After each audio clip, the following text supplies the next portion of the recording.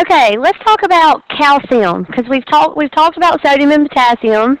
We're really familiar with the renin-angiotensin system, and we've talked um, in depth about how ANP is totally antagonistic to the renin-angiotensin system. We've gone in great detail about all the mechanisms that take place. And when is the renin-angiotensin system activated? Decreased blood pressure. And things that go along with that are things like a decrease in uh, plasma osmolality, um, a decreased blood volume, right? Which is in turn decreased blood pressure. So what is the effect of ANP?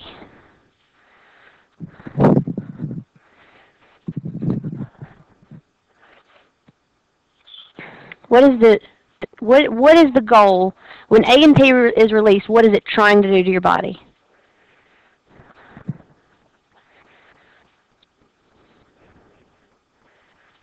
It does inhibit the mechanisms of the renin-angiotensin system because I just that's exactly right. And I just told you it's totally antagonistic to it. So what is the goal?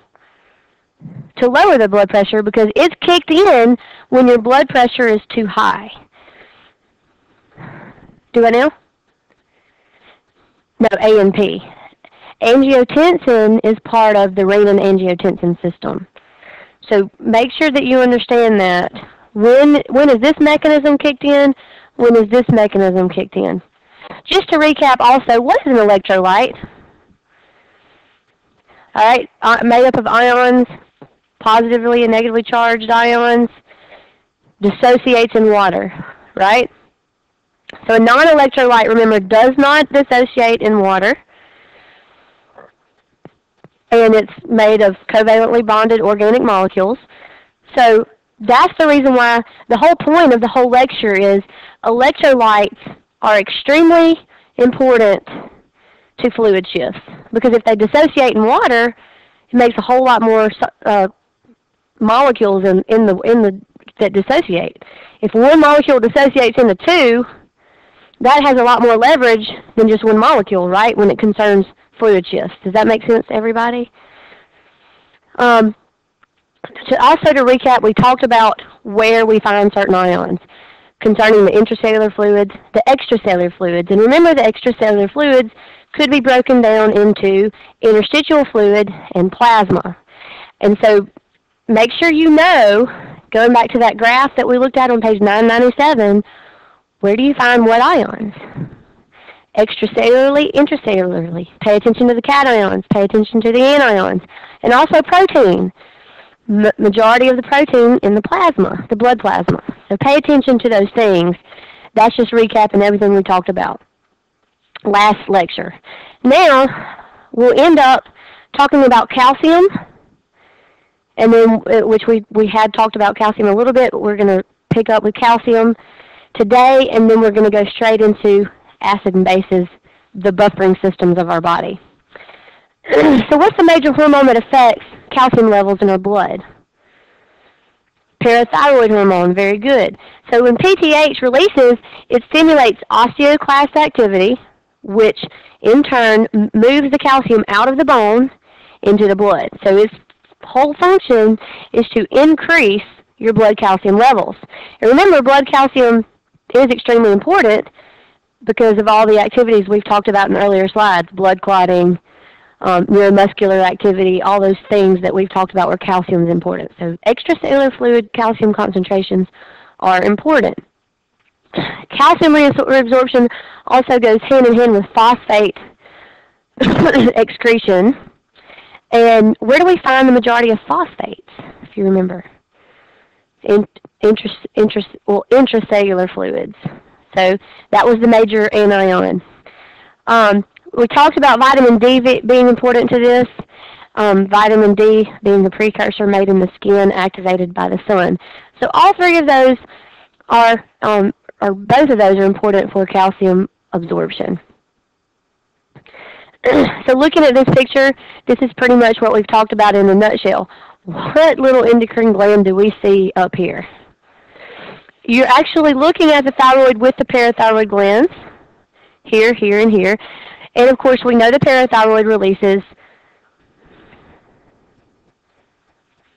PTH, parathyroid hormone, to increase our blood calcium levels. Whenever the blood calcium levels get to a certain degree, it in turn inhibits the parathyroid glands from releasing parathyroid hormone. But when parathyroid hormone is released, calcium is going to come out of the bone. Okay, so the bone releases calcium into the blood, which also stimulates um, calcium reabsorption through the kidneys. So we're not we don't want to um, excrete calcium in the filtrate because we're trying to get our blood calcium levels up. And parathyroid hormone also promotes kidney activation of vitamin D. So this is where vitamin D is actually made valid. Vitamin D is integral in calcium absorption from your food. So in order to maximally be able to absorb the nutrients that we need in our food, remember we have all these other things that we need, vitamins and cofactors. And vitamin D is an important vitamin to the absorption of calcium. All right, so parathyroid hormone is extremely influential to calcium, calcium, calcium into, coming into the blood. And we said comes out of the bone, also stimulates the kidneys to reabsorb it. Remember, um, we had a lot of uh, things that were absorbed in the proximal convoluted tubes, the PCT. We talked about that earlier. And then the distal convoluted tube, remember, was totally under hormonal control. So if we had more calcium to be reabsorbed at this point, and we didn't want to get rid of it, there would, it would be reabsorbed here as a result of parathyroid hormone. Um, chloride ion, we talked about that. Where do we find high concentrations of chloride ion?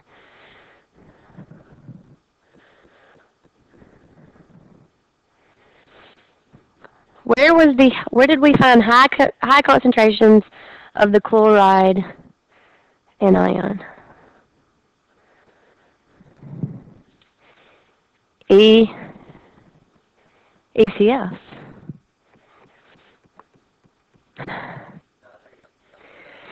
Sodium and chloride ion are the major ions of the ECF. The major ions of the ICF were potassium and phosphates. Sodium and chloride is ECF. And remember that includes interstitial fluid and plasma. The only difference between interstitial, interstitial fluid concentrations and plasma concentrations were proteins, and that's because we have tons of proteins in our blood. so, this ion is the major ion of the extracellular fluid. It helps to maintain the osmotic pressure of the blood. So remember, um, water and ionic concentrations are extremely important. What's the major important ion when we're talking about water? What, what, where does water follow? Sodium. So sodium is the major one. But chloride ions are also involved in this osmotic pressure. 99% of these ions are reabsorbed under normal pH conditions. So if our um, fluid composition is at a normal pH, we're reabsorbing most of our chloride ions. However, when acidosis occurs, acidosis is a situation that occurs if your blood pH does what? Drops. If it goes too low. What is too low for blood pH? Anything below 7.35 is considered acidosis for blood. Now, is 7.3 an acidic value? It's not. If we were in chemistry and they asked you, is this basic or acidic, you would say basic. But slightly basic. Because anything below 7 is considered acidic, right? However, when we're talking about A&P and we're talking about physiological conditions, 7.35 to 7.45 is the parameters for blood. If we go above 7.45, then we, we go alkaline, so that's alkalosis. But if we drop below 7.35, the condition is called acidosis. So that's important to understand. So when acidosis occurs, fewer chloride, ions are reabsorbed. So that with that being said, if our blood goes too acidic, then we start getting rid of the chloride ions. Do you do you want to know why? Or do you know why? I hope you want to know. Because chloride ion comes together with hydrogen ion to make a strong acid. So the more chloride ion that you have, the more acidic your blood will be. So this is a buffering system. So your kidneys are trying to get rid of chloride ion, and that will alle alleviate the acidic conditions. Does that make sense? Um, other anions have transport maximums and excesses. They're excreted in urine, so they they also have fine parameters. But chloride ion is a good one to point out because it does affect pH, which is what we're about to talk about. All right, so let's move to acid-base balance, and that's, that's that'll be the conclusion of this chapter. So the first half we talked all about electrolytes and how they affect fluid composition. Now let's swap gears and finish up with pH. We know pH is extremely important to our bodies, right? Can anybody in here tell me what two systems are the most important systems in maintaining fluid composition pH? What regulates the pH of our fluids? Very good. He named one. Kidneys, the kidneys, and that would be the renal system. Renal system is extremely important to monitoring pH. What's the other one?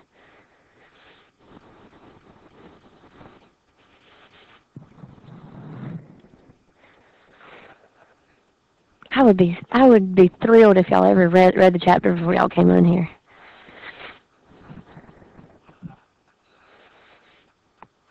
It's the control center of many things, but not pH. Respiratory system, the lungs. How, what happens, all right, and I'll give you an example. What happens when you hyperventilate? Changes your pH of your blood, right? The respiratory system and the renal system, these are extremely important to controlling fluid composition pH. All right.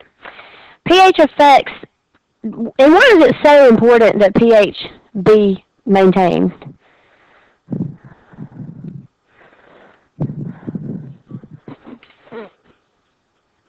What happens is proteins and enzymes in our body, remember, fall apart. They denature. So if you don't have the appropriate pH, it changes the interactions between the bonds of these proteins and enzymes, and they'll fall apart and they'll denature. So pH is extremely important, and that's why in blood it's got to be 7.35 or 7.45, and actually intracellular it's a little closer to 7. And that's because the, the maximum pH for those enzymes is in those parameters. So it's really, really important. So pH is extremely important. Um, so Arterial blood around 7.4. And it's, like I said, it's very fine. Seven, anything below 7.35 is considered acidosis. Anything above 7.45 is alkalosis. Your venous blood and your interstitial fluid is around 7.35. And of course, intracellular fluid inside the cell about 7.0. now, most, now hydrogen ions are what causes us to go between acidity and basicity conditions. Hydrogen ions are acidic constituents. The more hydrogen ions that you have present, the more acidic the range will go. Phosphoric acid is one of the breakdowns that occur um, that can cause, in the extracellular fluid, that can cause a change in acidity and basicity. Lactic acid Remember when we work out, we get that soreness, that's lactic acid buildup. That can change the pH of our fluids. Fatty acids, when fats are broken down. Remember in lab when we broke down to fatty acids, what happened? How did we know we had broken fat down by lipase? Phenol red had a color change, and it was because we had released fatty acids, so it changed the pH. So it makes sense when our bodies break them down that we're going to change the pH there as well. So when hydrogen ion is liberated and it comes in contact with CO2, it becomes bicarbonate. Um, and this kind of leads us into the bicarbonate buffer system. this is a good thing. This is why we had to have some a certain amount of CO2 in our blood. Y'all remember me telling you? Pretty much in the past we've thought we've thought of CO2 as a, a worthless byproduct, right? In biology, that's kind of what they teach you. You use the oxygen, CO2 is the byproduct, and you breathe it out. But technically, we need a certain amount of CO2 in our blood, and it's because when CO2 comes in contact with these hydrogen ions, it forms bicarbonate, which buffers our blood, keeps the pH where it should be.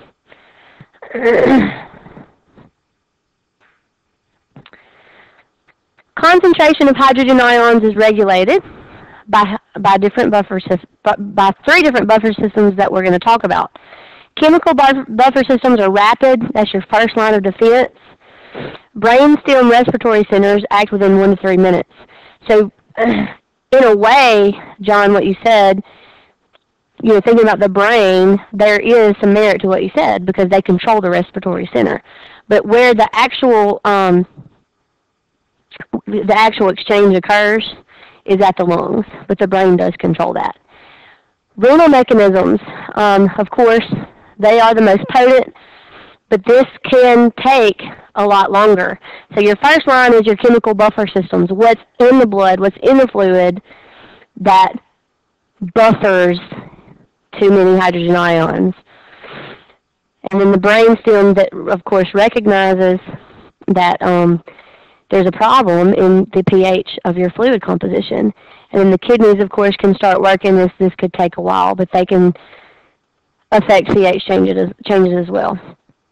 So how does this work? Strong acids are any acid that completely dissociates in fluid. For example, hydrogen, hydrochloric acid. It dissociates into an H plus and a Cl minus. A hydrogen ion and a chloride ion, right? So that's a strong acid.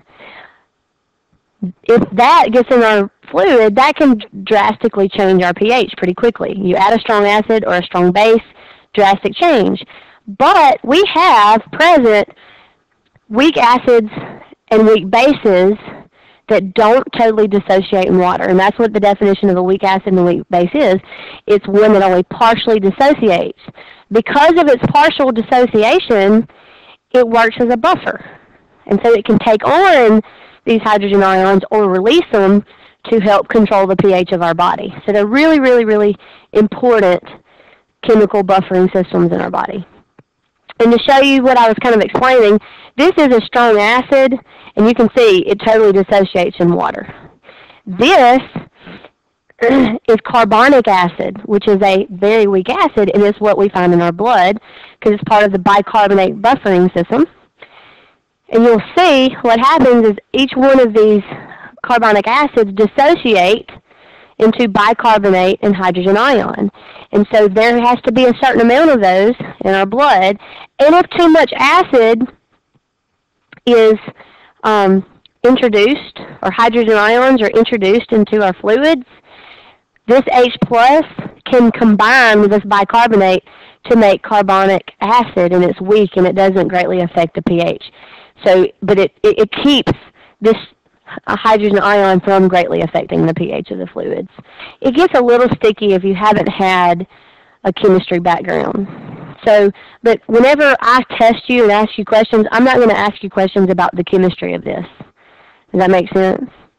So you don't have to get caught up in the chemistry of what's happening. All right, now here are the three buffering systems that are important to our bodies, extremely important. I've already mentioned one, the bicarbonate buffer system. Also, we have the phosphate buffer system and the protein buffer system. And keep in mind that a buffer is anything that can help us resist change in pH. So these are buffering systems, very important to our bodies. So these are the three. The bicarbonate buffer system basically this is the one that I was talking about that deals with the weak acid carbonic acid. And this is a result of how much CO2 is in your blood, right? So CO2 can co combine with hydrogen ion, make bicarbonate, and then it can take on another hydrogen ion to make carbonic acid. Now, I'm not going to ask you specific questions about what buffers are present in each buffering system, but I feel like I need to give you an overview of how each one works. But I do need you to make sure you understand that the bicarbonate buffer system is the only important buffering system of your extracellular fluids. And remember, the blood needs to be between 7.35 and 7.45. So the bicarbonate buffer system is the one that does this. Now, it is involved in the intracellular fluids, but it is the only one that can actually affect the extracellular fluids. So the bicarbonate buffer system is important to this. And how this is how it works. Just as I've explained already, uh, bicarbonate can actually take on those hydrogen ions that create acidic, the acidic environment and also can form carbonic acid. pH decreases only slightly unless all the available um, bicarbonate is used up, and that's our alkaline reserve. the kidneys are responsible for regulating regulating the bicarbonate um, concentrations. Let's say a strong base is introduced into your fluids. The um, carbonic acid will then dissociate to release hydrogen ions. Remember, hydrogen ions mean what? Acidity. It will lower the pH. So, so the pH will not rise drastically as a, as a result of this buffering system. um, and again, um, something to point out Carbonic acid supply is usually almost limitless because where do we get carbon dioxide? Respiration. And that's subject to the respiratory controls. Um, the phosphate buffering system, the second system, it's, uh, it works almost just like the bicarbonate buffer system. I'm not going to go into detail, any more detail about how it works because I'm, I'm not asking you to know that, the chemistry behind it. But it works similarly, and this buffer system is the one that's important to the intracellular fluids. And it's also an effective buffer in urine and the intracellular fluids. And that makes sense because where, where, where do we find most of the phosphate ion? Intracellular fluids. So this one's important to the ICF. So the other one we talked about was called what? And it, the bicarbonate buffer system was important to the ECF. Remember, it does affect the ICF, but it's the only of the one that affects the ECF. And the last buffer system is the protein buffer system. Intracellular proteins are very plentiful and powerful, powerful. And the reason for this is a protein is made up of what? Do I know? It does have car carbons. It's not a carbohydrate. A protein is a different class of a molecule. What, what makes up proteins? Amino acids. What do you find on an amino acid? An amine group and a carboxylic acid group.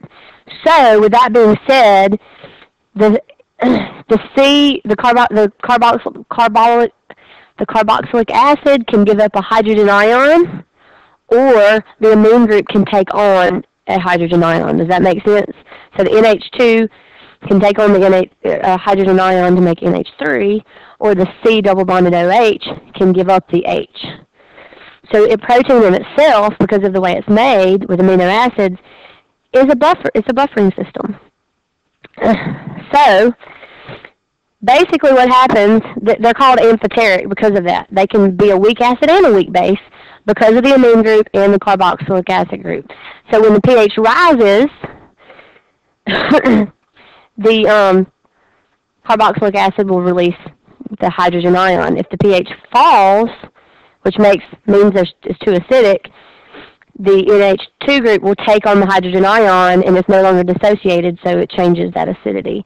So that so does that make sense? So when pH is going up, it means it's going too basic. So we're going to release these hydrogen ions to try to buffer that. When it's falling, it's getting too acidic, so the NH2 will take on the hydrogen ions.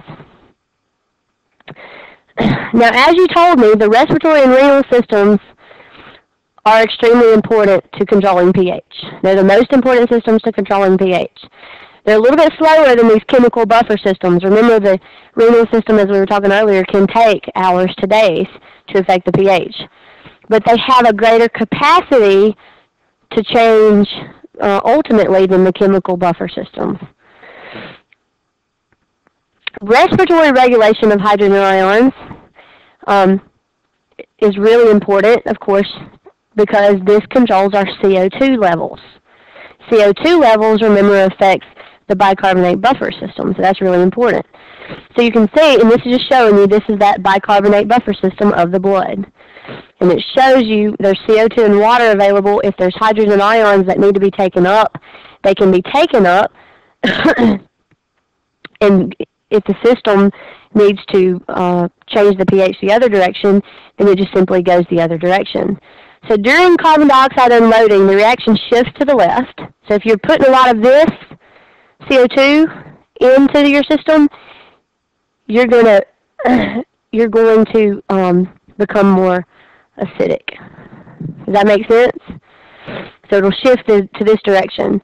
If you lose a bunch of CO2, what's going to happen? It's going to shift this way. So if it shifts, if you're if if it's going out, the whole system shifts that direction, and it's going to raise the pH.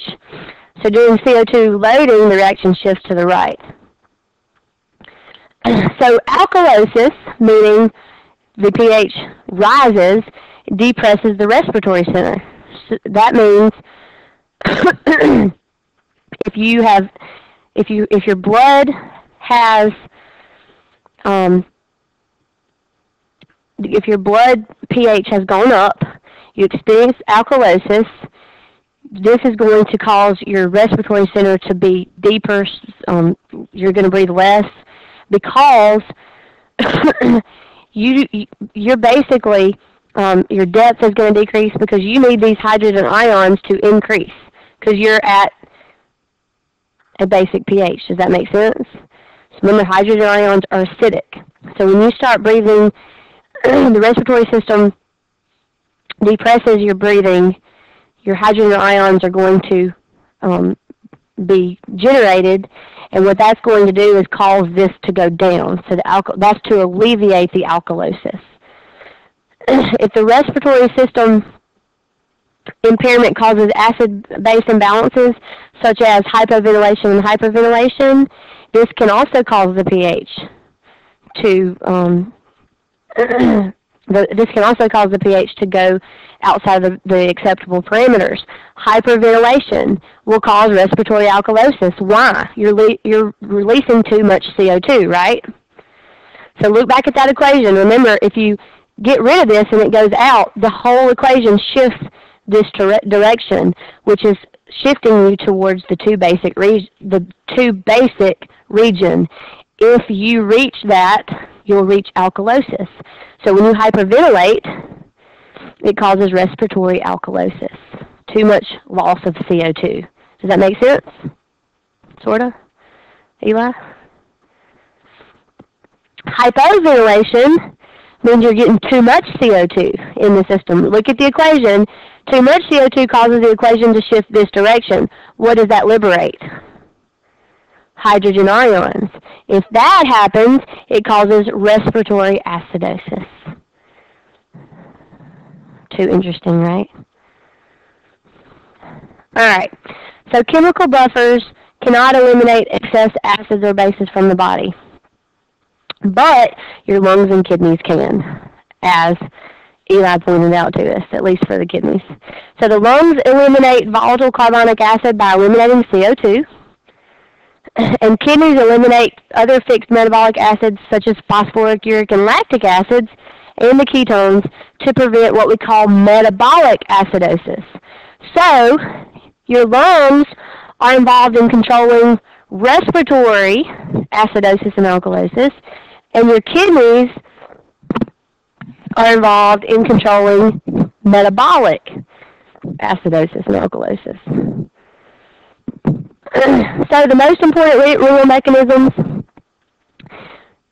conserving, of course, the bicarbonate, that's extremely important, and excreting bicarbonate as needed. Generating or reabsorbing um, one bicarbonate is the same as losing a, a hydrogen ion. So that greatly affects the pH. And of course, excreting one of these is the same as generating, as gaining one.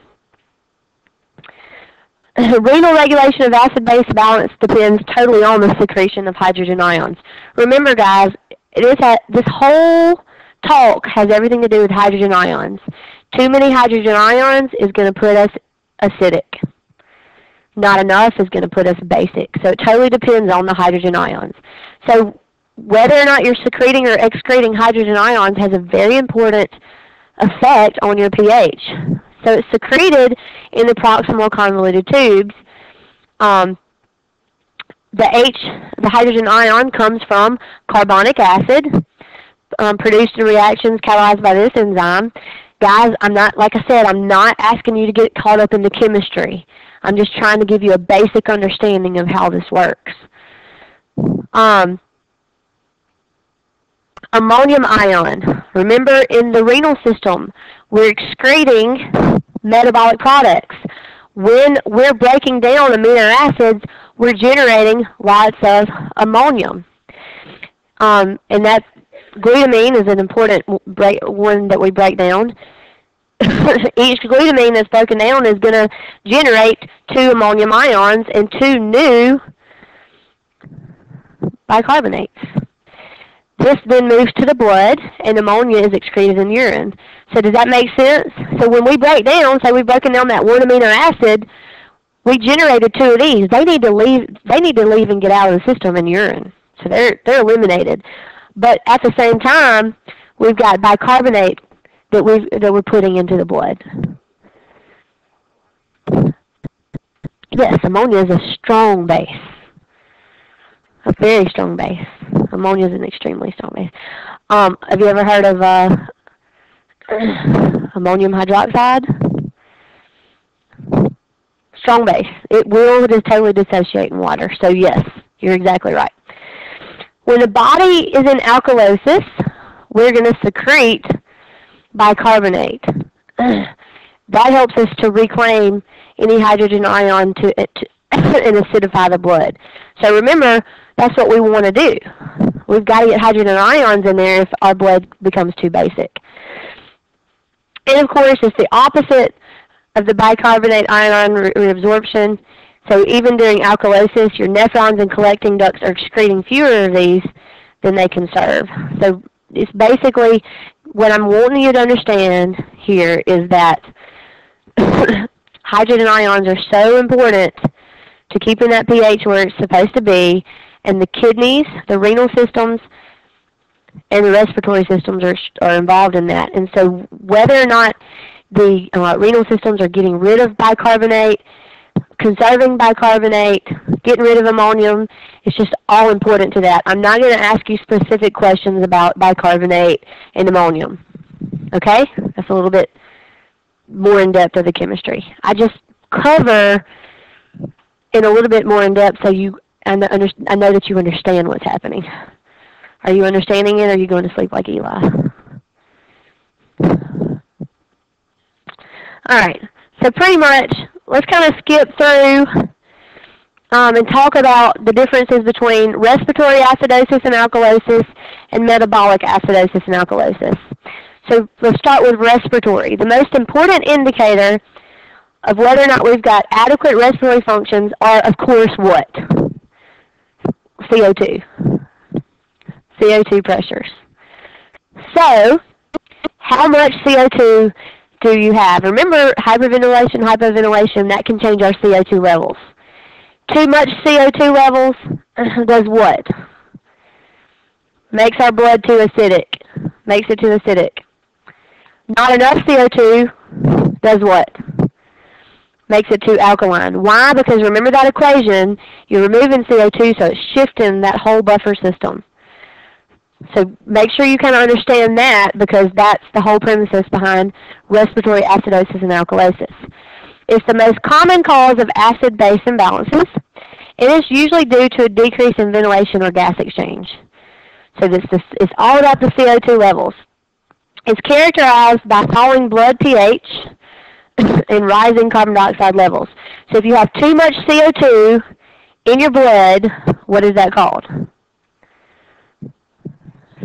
Yep. Respiratory acidosis. Very good. If the CO2 drops too low, what's it going to cause? Respiratory alkalosis. Very good. And like I've told you many times, hyperventilation, hyperventilation, hyperventilation. This can cause this because too much CO2 is released. What do you do to um, relieve that? Breathe in a bag. Very good. You get the CO2 into your system, it's going to lower the pH, get it back down to normal. Let's talk about metabolic acidosis and alkalosis. Any pH imbalance not caused by abnormal CO2 levels. So when we talk, when I ask, if I ask you any questions about respiratory acidosis and alkalosis, it's all about CO2 levels. Okay? Maintaining normal CO2 levels. And remember, if CO2 levels get too high, it's acidosis. If they get too low, okay, very good. So metabolic acidosis and alkalosis is anything that is, doesn't have to do with CO2. It's usually indicated by the bicarbonate levels. What causes metabolic acidosis? Too much alcohol can cause metabolic acidosis. Why? Because it creates a lot of acetic acid. If you lose too much bicarbonate, if you have lots of diarrhea, this can change the pH and cause metabolic problems. Accumulation of lactic acid, shock, ketosis, diabetic crisis, starvation, and kidney failure. All of these can cause metabolic acidosis or alkalosis. Metabolic alkalosis is much less common than the acidosis condition, so it's much more common to get metabolic acidosis. Rising blood, uh, rising blood pH and bicarbonate can indicate metabolic acidosis. So remember, don't don't put in your mind that blood I mean that blood is linked to any certain one because CO2 is in the blood too, right? It has to do with whether or not our CO2 levels are high or low, whether it's going to be classified as respiratory and everything else is metabolic. Okay? So if our blood our blood pH rises, and our bicarbonate, that is an indicator. If we vomit a lot of acid contents from our stomach or intake of excessive base, it can cause metabolic alkalosis. Makes sense that stomach acid is part of how much acid is in our fluid composition, right? So vomiting too much of that can cause alkalosis. If you take too many antacids, that can also, because what is an antacid? It's a base to neutralize acids that we take it usually to neutralize acids. If we take too many of them, we can ch actually change the pH of our blood. So blood pH below 7 is going to be, is that acidic or basic? All right, so acidosis is going to depress the central nervous system. It's going to eventually cause death if it's not um, treated. Anything above 7.8 it's going to excite the nervous system, cause things like muscle tetany, tetany which is random muscle contractions, extreme nervousness, convulsions, respiratory arrest, and that is called alkalosis, metabolic alkalosis. If acid-base imbalance is due to the malfunction of a physiological buffer system, the other one compensates. Our bodies are awesome at compensating. So if something goes awry with one of the chemical buffer systems, the two other ones are there. Respiratory system attempts to correct metabolic acid-base imbalances as well, and the kidneys will attempt to correct respiratory acid-base imbalances. In metabolic acidosis, you experience, of course, high hydrogen ion levels. They stimulate the respiratory centers. Rate and depth of breathing are elevated. This, remember, affects um, bicarbonate levels. What is the important thing to remember about respiratory acidosis and alkalosis? Respiratory is totally the CO2. But in metabolic acidosis, you need to understand that respiration can affect it. Okay? Because that can be confusing. Here, metabolic acidosis, remember, has to do with everything but CO2. So, bicarbonate levels can cause metabolic acidosis. As CO2 is eliminated by the respiratory system, the CO2 will fall below normal. respiratory, this is talking, and this is talking about compensation for that if, if the renal system were to fail. um, and we've talked about breathing, how breathing affects CO2 levels. And a high pH over 7.45 would be considered alkalosis. And again, breathing can affect that. That's how re the respiratory system compensates. Renal compensation, the other direction can occur. Um, again, CO2, and this when we're talking about CO2 levels, we're talking about respiratory acidosis and alkalosis. Renal compensation can be in, indicated by bicarbonate levels. Remember, the mechanism for re the renal system is to control bicarbonate levels. What's the mechanism for the, the respiratory system? What does it control? CO2 levels. Okay, so you're kind of catching on. Respiratory alkalosis exhibits the low CO2 levels, high pH. Renal compensation can help to occur. Uh, can, or renal compensation can compensate for respiratory system failure. And of course, this can be indicated by the bicarbonate levels. So those are the difference, major differences between respiratory acidosis and alkalosis and metabolic acidosis and alkalosis. Really, you only have to remember one thing, what?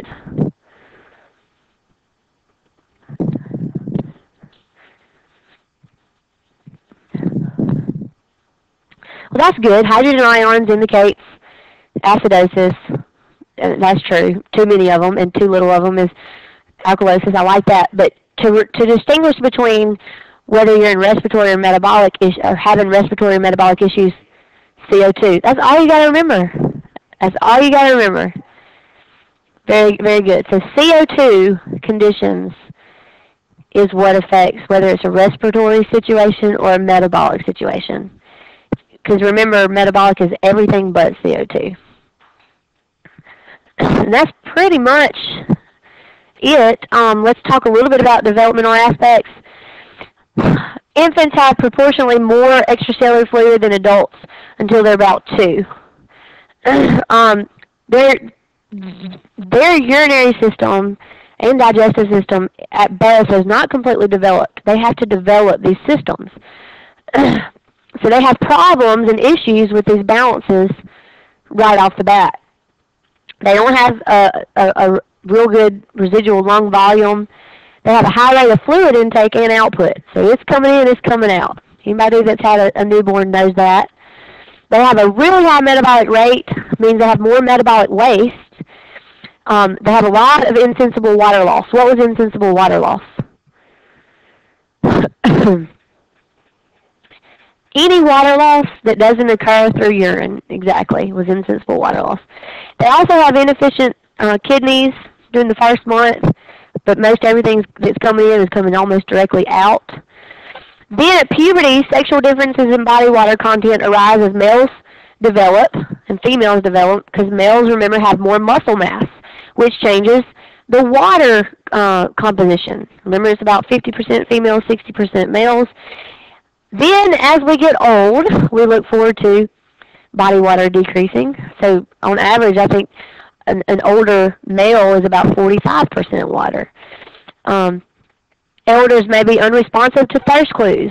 They're more at the risk of dehydration. And as always, as we age, things kind of go downhill. So we're just not quite as um, good as we once were. Do you have any questions about this chapter?